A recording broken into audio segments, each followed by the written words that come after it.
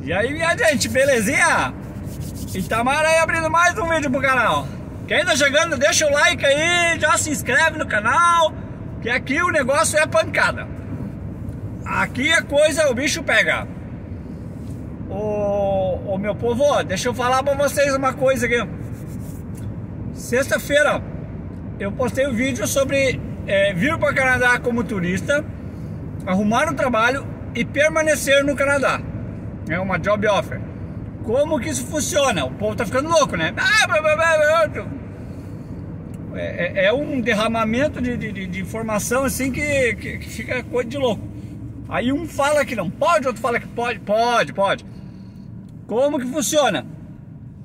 Processo normal como qualquer um outro.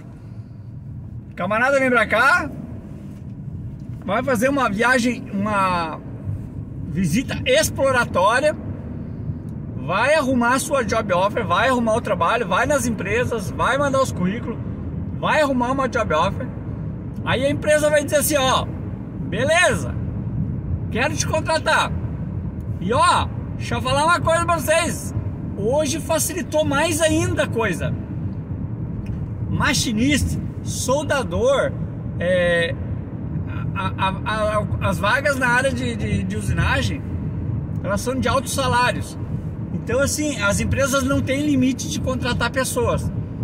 Mas para aquelas posições é, comerciais, de alimentação, restaurantes, é, hotéis e outros lugares que o pessoal não tem conseguido gente para trabalhar, o governo facilitou mais a coisa ainda aí. O governo lançou um, programa aí é, fantástico, tá? Fantástico, que vai começar 30 de abril que é literalmente para quem vir para cá, arrumar um trabalho lá de cozinheiro, né, na área comercial lá. Mas a empresa é, já tem é, 10% do funcionário dela já é imigrante. Ela pode ter 20%. Olha só, ela pode ter 20% dos empregados imigrantes. Então assim, o governo facilitou um pouquinho mais ainda para que as empresas elas possam contratar imigrantes. Então aqueles que vão vir e vão aplicar para as vagas, então o governo está facilitando a coisa. O negócio é estudar bem sobre isso para quê? Porque vai falar com a empresa lá, e na hora de falar com a empresa, a empresa, ah, pois é, mas o processo é não sei o que. Então é muito bom que vocês conheçam é, e saibam quais as posições que são é, livres de. É, ela entra na uma classificação lá que ela é rápida, né? Ela tem isenção de pesquisa de, de é, sistema aperfeiçoado, não, é simplificado. Sistema simplificado, que é machinista, soldador e diversas outras posições na área de, de TI. Então tem muita coisa aí que é sistema simplificado, que é os altos salários. Que essas posições são mais difíceis de conseguir pessoas, então é, é simplificado o, o esquema para a empresa poder contratar o funcionário mais rápido. Mas vamos lá, vamos voltar ao assunto aí. Veio pra cá, conseguiu o job offer. Tá aí agora. Posso começar a gravar amanhã? Não, né? Não pode, né? Não deve. Entenderam, né? Não, não deve, né? Vai conversar com, com, com, o patrão lá vai fazer os acertos com o patrão, porque ele precisa fazer a aplicação para o Elamaei, vai pedir o teu Elamaei rápido. Em todas as províncias do Canadá, menos o Quebec, o Elamaei sai em torno de duas semanas, ele é, ele é rápido. Então se a empresa tiver um consultor, tiver um advogado que seja rápido ali para fazer essa solicitação, é, eu vou dizer para vocês que vai, isso vai levar em torno de umas quatro semanas, né? Umas duas semanas para a empresa é, fazer a aplicação e mais umas uma ou duas semanas ali para vir a autorização que é o LMIA. Então nós estamos falando aí em, em pelo menos um mês que vocês não poderiam, né? Ó, ó, ó, ó, aspas aqui, ó, não poderiam trabalhar, né?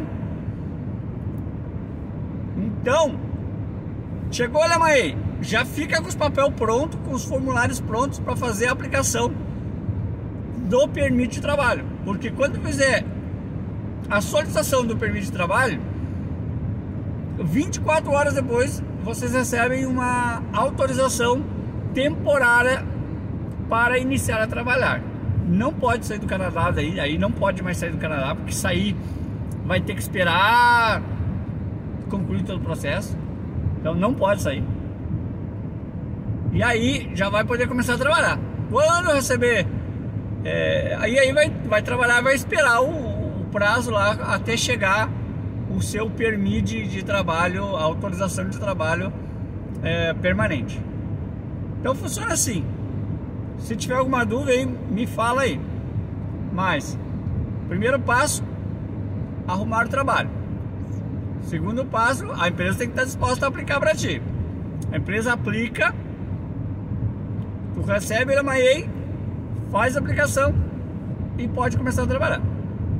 Funciona dessa forma. E aí permanece no Canadá. Então, esse é o sistema. Ah, e daí vamos falar assim, ah, mas ó, o Facebook é, nunca vi, né? O Facebook é que dita as regras do mundo inteiro, né? O pessoal, ai, porque não pode, a imigração não vê com bons olhos. Gente, parem de romantizar e dramatizar as coisas aqui. Imagine que vocês vão aplicar uma imigração aí no Brasil. É bagunçado também, não é organizado não as coisas. Não é o bicho de sete cabeças não, não, não são extraterrestres, eles não são. Estre... Eles não ficam com uma lupinha. É, os caras acham que, que, são tudo detetive, que eu acho, sei lá, eu, alguma coisa desse tipo. Mas não é. Ah, é. São pessoas normais que olham ali, ah, tá bom, é um trabalho normal como qualquer outro de imigração. Eu não fico ah, analisando, hum, eu acho que esse cara aqui tá de golpe. Não, eles analisam os documentos. Ah, esse cara, é, tá, a vaga tá pedindo 5 anos de experiência Aí ele me mandou as traduções juramentadas aqui de 5 anos de experiência, tá bom, tá? Algumas vezes eles verificam para ver se aquilo ali realmente é verdade, eles ligam para a empresa.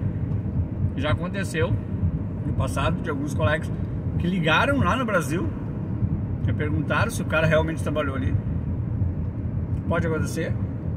Vamos fazer lá a pesquisa de é, criminal, né? Antecedentes criminais, fazer um, um normal e vão emitir. Se vocês não tiverem nenhum problema, fica tudo tranquilo, tiver ali no enquadro, não tem porque o, o agente de imigração é, ficar inventando coisas.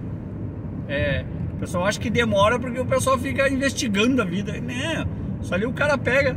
Cara, demora porque tem um milhão de, de processos lá. Aí um dia o cara pega o teu processo e ele, em questão de horas ali, ele olha se tu tem ou não tem, ou minutos, ele olha se tu se tudo tem tudo a documentação e deu, já era, vai, vai, vai, vai pra frente. Tipo, o cara que olha lá se tu tem a experiência, tem um cara que só fica vendo isso aí, ó. Ele analisa para ver se os documentos estão de acordo. Aí ele olha, tá bom, manda lá pro cara, agora vai pra tal uh, etapa lá de é, ver os antecedentes criminais. Aí o outro cara vai ver os antecedentes criminais. Aí vai, ó, vai para outra etapa lá que tem que pedir o exame médico. Se o cara não fez ainda, ele vai pedir o exame médico. Então, não funciona. É, o pessoal acha que o cara pega o processo do cara e fica lá. E fica. E fica. Fica é, chamuscando. Hum, eu acho que essa letra aqui não é a dele. Gente, hum, esse cara tá de golpe. Não funciona assim não. O cara. É, é, é, tô falando que eu conheço um, um agente de imigração, conheci da igreja, ele explicou como é que funcionam as coisas. Então, é, o troço é, é, é no correrio. É corre, corre, corre, corre. Ele analisa lá, aí se está faltando algum, algum, documento, já manda. Uh, por isso que uh, às vezes corrompe arquivo quando a gente manda pela internet. Tipo, os meus LMAI duas vezes corrompeu quando eu mandei. Eles pediram de novo, eles me deram um mês para eles, pra eles é, é, analisar. Ou seja, só, só depois de um mês é que o cara foi olhar de novo para ver se eu, mandei, se eu mandei ou não mandei. Aí tava lá o arquivo, aí beleza, emitiu a autorização, não deu problema nenhum. Então funciona dessa forma. Eu espero que eu tenha esclarecido algumas coisas. E assim, cara, ficou muito bom agora que o governo lançou.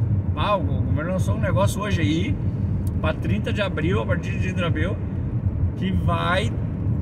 Meu, eles estão querendo que, que, que, a galera venha como turista. Eu estou entendendo isso. Eles querem que o pessoal venha como turista e fique. Porque se eles não facilitar a coisa, cara, se eles não reduzissem, é, se eles não reduzissem esse negócio, se eles não trouxerem gente logo pra cá, a coisa tá ficando feia. Tá ficando muito feia a falta de mão de obra, mas muito feia. Tá bom, gente?